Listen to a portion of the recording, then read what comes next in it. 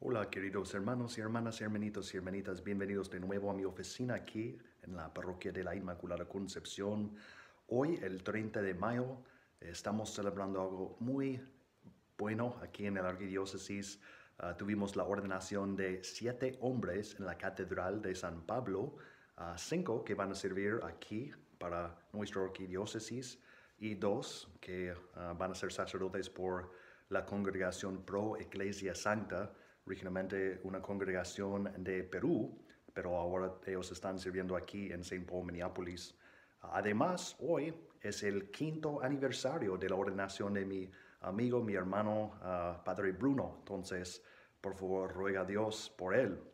Nosotros estamos en un tiempo muy fuerte, muy triste, muy pésimo a causa de todo lo que está pasando en el Estado, en el país, en el mundo. Entonces, encomendamos nuestras oraciones nuestra esperanza a nuestra Madre María Santísima y para que nosotros podamos estar más cerca a su Hijo amado Jesús. Ya aquí tengo el crucifijo en mi oficina, un recuerdo de su amor crucificado, pero también alrededor son las mariposas, que son señales para nosotros de su resurrección. Bueno, a nuestra Madre pedimos en nombre del Padre, del Hijo y del Espíritu Santo. Amén. Dios te salve María, llena eres de gracia, el Señor es contigo. Bendita tú eres entre todas las mujeres y bendito es el fruto de tu vientre Jesús.